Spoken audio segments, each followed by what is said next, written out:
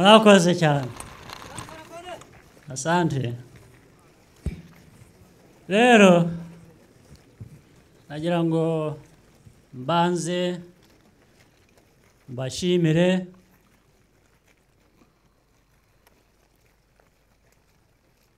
Iminsi mumaze hano mu myitozo ibintu byiza mwatweretse ibyo mwize ibyo mwitoje. Ndabashimiye cyane kandi n'abandi bose bari hano b'abayobozi nabo barabashimira. N'abanyarwanda barabashimira. Kuko mubaha icyizere bakagira umutekano bakaryama bagasinzira. Amanywa bagakora bityo abahinzi bakeza.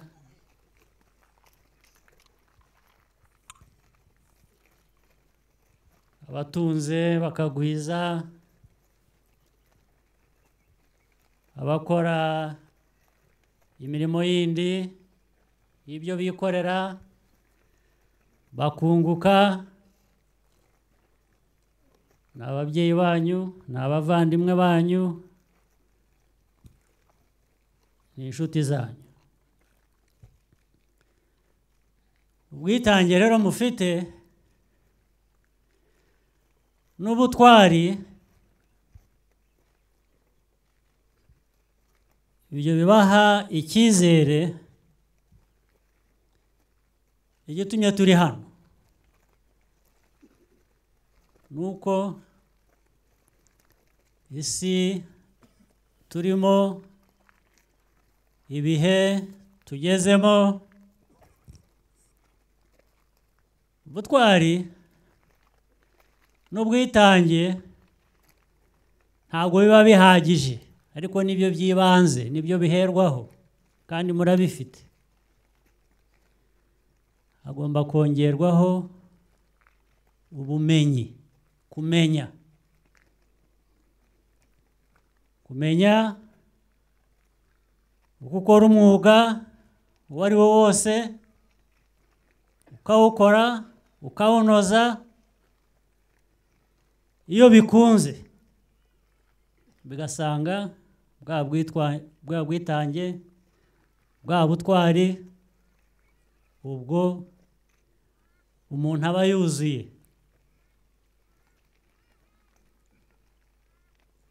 Ingabo nk'izi ibyo byose bihuye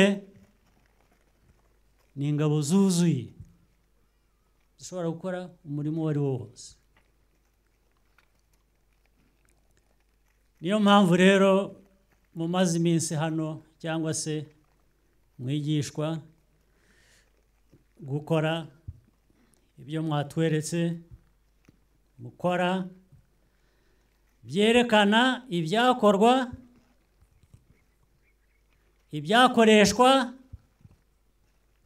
igihe bibaye ngombwa mu by'ukuri. Bitari iby'amahugurwa gusa. Mu bikorwa. Nibyo byerekana ibyakorwa cya gihe bya bindi mwaririmbaga.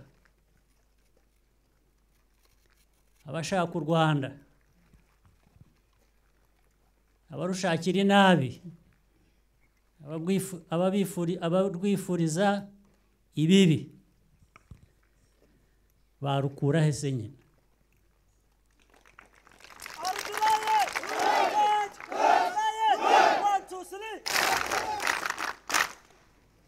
ntaho bafite barukura iyo ibyo bintu bitatu bihuye. Iby'ubutwari iby'ubwitange iby'ubushake byo ntabwo tugomba kujya kubitira ahandi. Turabifite hano biturimo. Biri muri kamere yacu. Ibyo ntabwo twajya kubishakisha ahandi keretse kubiganira tukabyibukiranya gusa ko ari ngombwa. Ariko ibyo kumenya iby'ibikoresho muri ubwo bumenyi nk'ibyo twabonye. Byo hari ubwo bigomba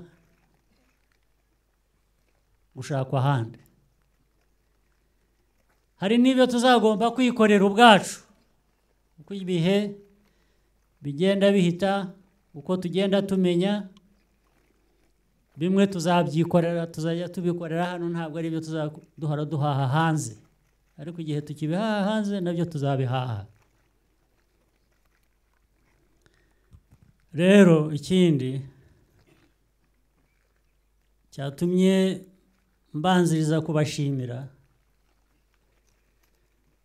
ni uko umwuga nk'uyu umurimo nk'uyu inshingano mufite yo kurinda abanyarwanda u rwanda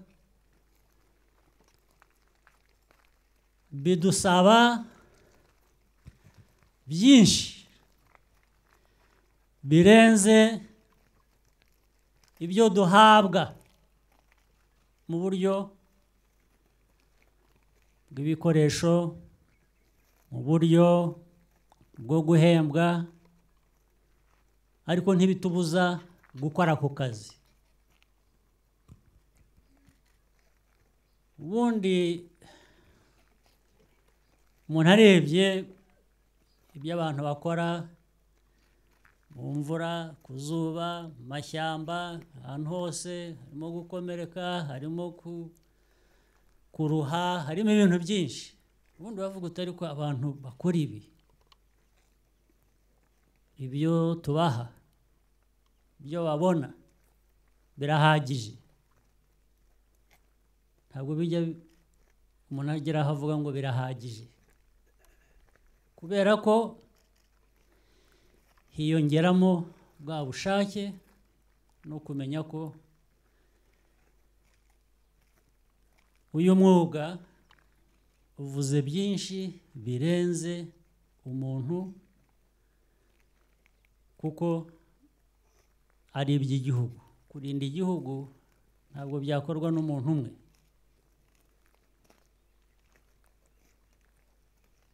Biraturenze nk'abantu umuntu ku giti cye.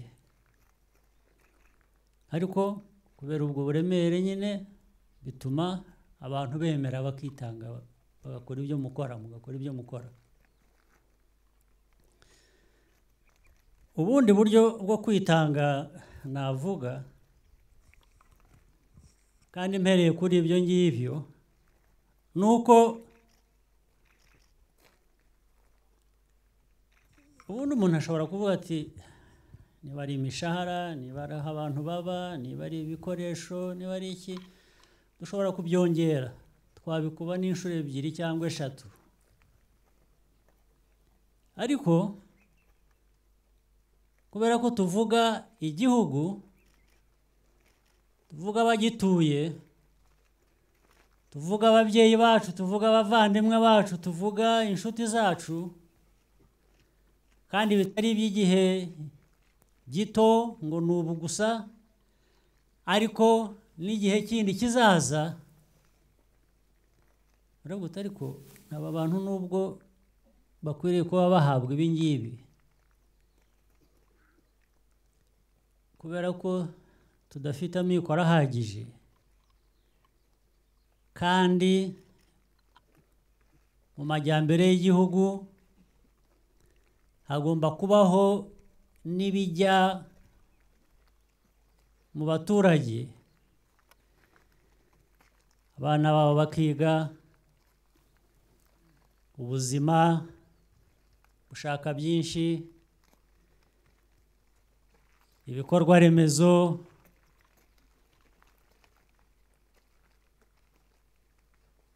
ubuhinzi n'ubworozi kugira ngo babone ikibatunga. Ibyakabaye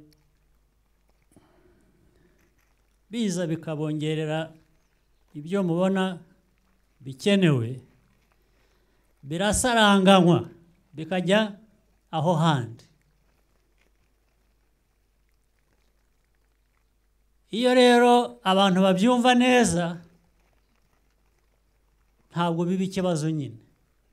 Umuntu aravuga ngo nabonye iki gice kubera ko n'ibindi byagiye bijya n'ahandi naho hakenewe.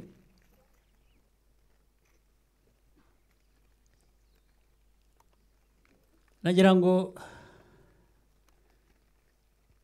mbumvishe ko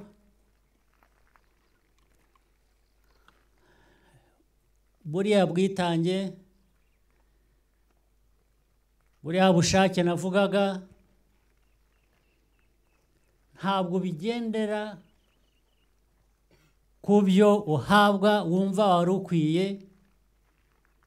ahubwo utekereza n'abandi. Ni nako bigenda niko mubigenza. Utekereza abandi ukavuga atari ko uwafata umutungo w'igihugu wose cyangwa igice kinini cyane akagishyira mu gisirikare. Igisirikare cyacu kigahembwa neza kikabona ibikoresho byose gishaka kikabaho ko gikwiriye kuba kibaho. Niba utekereza atyo utekereje atyo muzima arongera akibuka atari ko se ati byose ni biza aha mu burezi ho haragiye kubera ko mu burezi hariyo abandi banyarwanda. Hariyo abanyarwanda babikeneye. Mavuriro. Ahantu hose hakorerwa ibintu bituma ubuzima bw'igihugu cyose bumera neza. Nicyo gituma abantu basubira inyuma bati noneho reka tugereranye duhe n'aba bantu nubwo bakora ibintu birenze iby'abandi bakora ndetse batuma tubona n'umutekano wo kugira ngo ibyo bindi na byo bikorwe. Ubwo twasaranganya. Icyo nshaka kugeraho rero kindi ni iki? Nacyo nigeze kukibabwira undi munsi. Kubera ibyo byose maze kubabwira ibyo dukora bidusaba byinshi biruta ibyo dufite ubwo bituma ukoresha neza bike ufite kugira ngo ushobore kuri bike kuba wakora akazi kanini nako karuse bya bindi wari ufite gukoresha. Ndashaka kongera na byo mbibasobanurira icyo bivuze. Ikindi bivuze ni ukuvuga ngo murareba nk'ahariya mwahoze mukorera imyitozo nanone. Aho mwarasaga abantu bameze nkatwe bafite amateka nk'ayo navugaga urabara sibyo ndetse iyo bigeze ku kazi nyako ka kandi ko ku rugamba nabwo urabara ni ukuvuga ngo kubara mvuga ni ukuvuga ngo isasu rigiye gusohoka riragusha. Ntabwo rinyura iruhande. Urumva icyo nshaka kuvuga? Nta mpamvu yo kugira ngo ugere ku ntego ari uko wabanje kurasa amasasu icumi. Kuko niba turi igihumbi hano buri wese agakoresha amasasu ijana. Uba ukoresheje amasasu ibihumbi ijana. Sibyo? Buri sasu icyo rigura wakongera ugakuba. Sibyo? Iyo ugiye rero kurasa gusa uko ubonye ni ukuvuga ngo bya bindi bike wari ufite bizagushiraho vuba utaragera aho wajyaga. Sibyo? Aha. N'abari ku rugendo uri ku rugendo muzi ikintu impamba. Murayizi? Impamba ntabwo yirya ugitangira urugendo. Sibyo? Ahubwo urabanza ukagenda. Eh? ukagera kure. Ni ukubara ni ukubara ibirometero ugenze n'ibyo usigaje kugira ngo ube wabona iyindi. Nicyo kimwe n'imikorere yacu bigomba kutujyamo bikaba nka kamere yacu. Ntabwo dufite byinshi. Ntabwo twasesagura. Niyo mpamvu dusaranganya mukabona bike mukwiriye byinshi.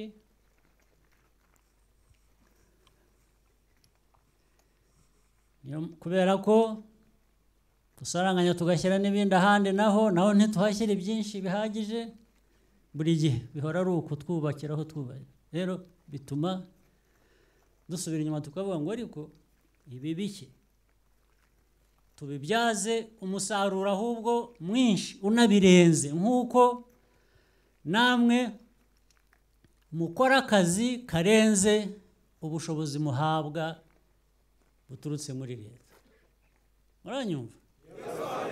Rwose. Amahugurwa rero n'akazi ibitekerezo bibiri inyuma ni ibyo ngibyo. Ni ukuvuga ngo mbaho urundi rugero bamwe abenshi hano barabizi wenda namwe abandi mwebwe muracyari batoya cyane ntabyo muzi.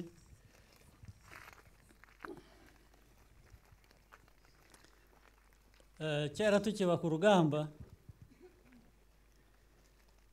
twarabaraga nahoze mvuga twabaraga amasasu ugasanga umuntu umwe muri magazine afitemo amasasu icumi hajyamo mirongo itatu. Ari icumi ariyo ufite gusa. Ukajya ku rugamba ufite amasasu icumi mu mbunda. Ibintu bibiri. Ni ukuvuga ngo ayo masasu icumi ufite urwana nawe wenda aba afite n'ijana. Ariko bya bintu navuga kugusha uwo murwana ntabwo bikwiye kuba bitwara amasasu ijana ntabwo bikwiye ku- ku- ku- bitwara icumi. Kuko iyo ufite icumi gusa bigatwara icumi ubwo usigaye ni wowe. Ubwo worohereje ufite amenshi ni we wari bu sibyo? Icya kabiri. Twarayakoreshaga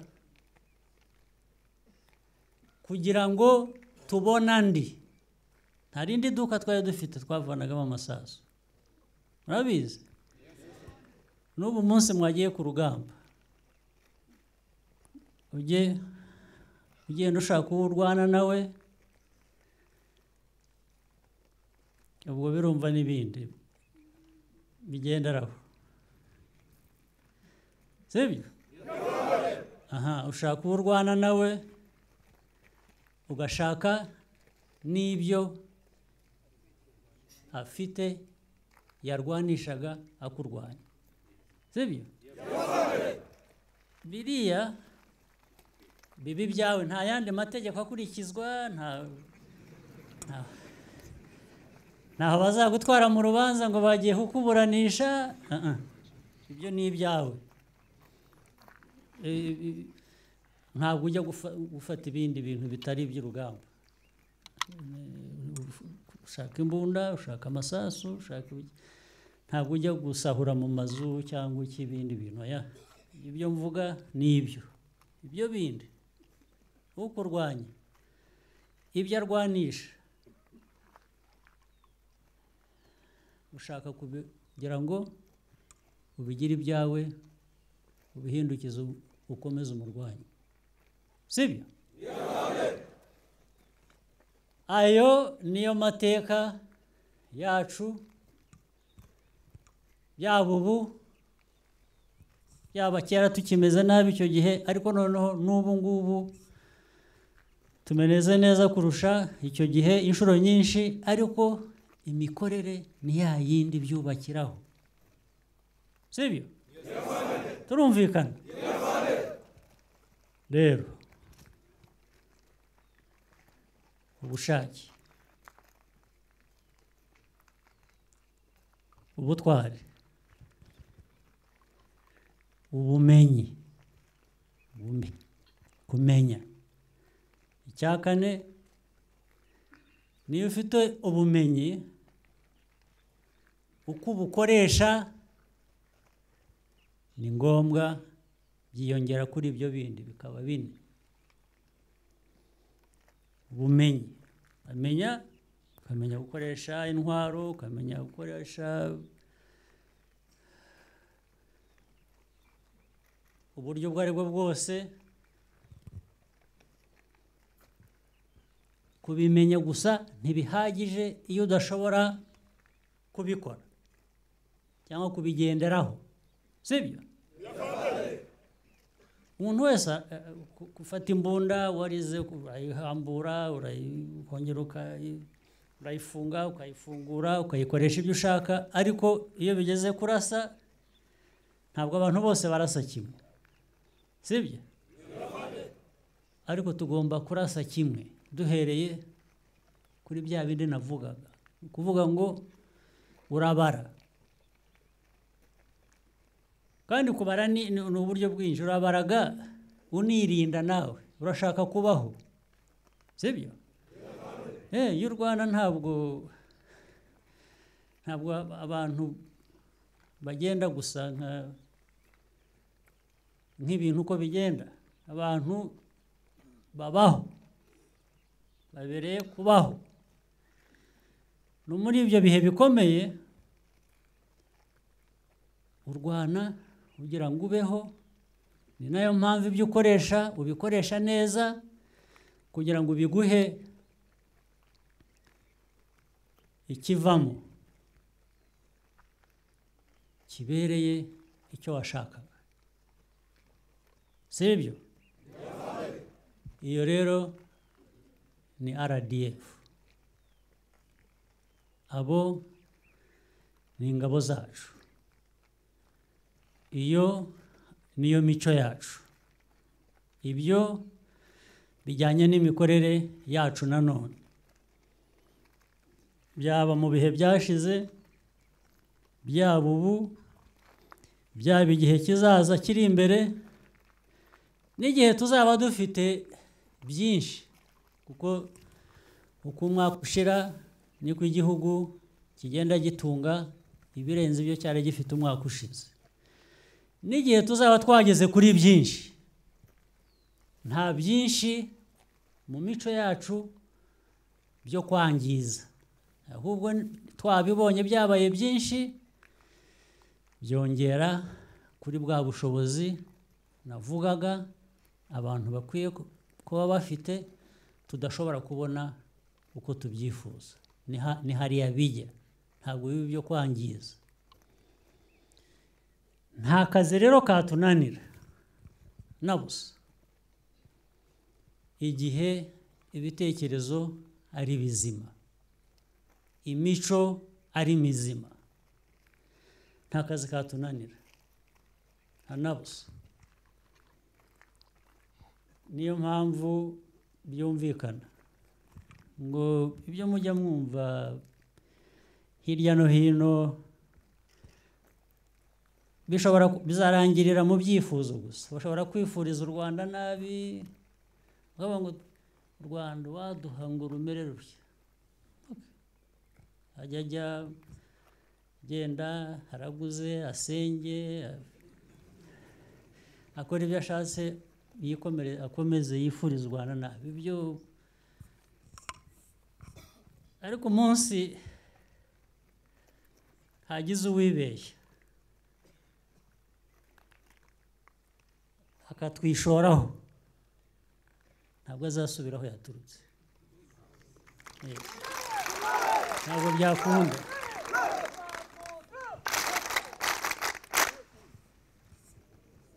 Tuzamugumana hano yaba muzima yaba atari muzima. Ni- ni- ni- niko byagenda. Eh, icyiza rero ni uko mu- mico yacu nanone nta mpamvu nta bushake ntabwo dushotorana. Gushotorana murabizi? Ntabwo ingabo zacu zibereyeho gushotora.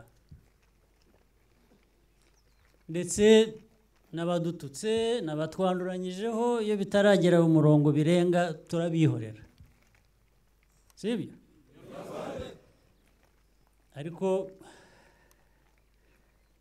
nibwira ko hari aho ibintu byagera cyane cyane iyo byagusanze iwawe ntabwo wabyihorera. Eh, ibizadusanga hano rero ntabwo tuzabyihorera. Eh, niko umwuga wacu tubwira ni byo tuhora twitegura ariko abantu ibya mbere umwiteguro wa mbere uba ku bantu. Ibikoresho byo ni ibikoresho. Wabigura wabishakisha hirya no hino ariko abantu abantu eh, ntabwo ubagura. Abantu n'imico yabo n'imikorere n'iki eh, ibyo nk'uko bitagurwa niko eh,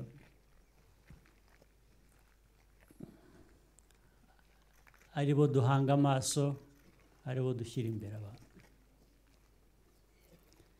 Nagira ngo rero muri uyu mwanya mbashimire mbizeze ko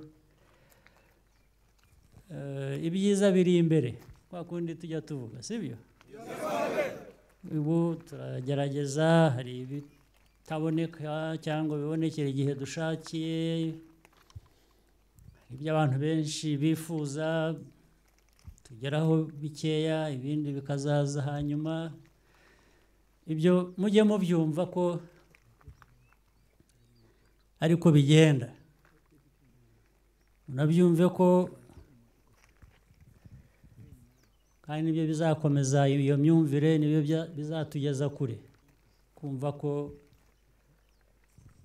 eh, iteka iyo twumva ikibazo tukagishakira igisubizo tukamenya ko hari impamvu zishobora gutuma bitindaho gato icyangombwa ni uko abantu banabibasobanurira bakabibabwira icyo gihe abantu mu mutwe baba bumva neza aho tuva n'aho tujya n'ibigomba gukorwa.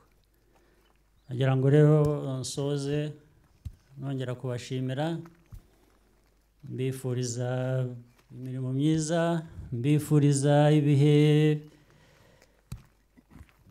biri imbere byiza turajya muri noheri umwaka mushya byose ndabibifurije bizababere bihire muzagire ubuzima bwiza n'abantu.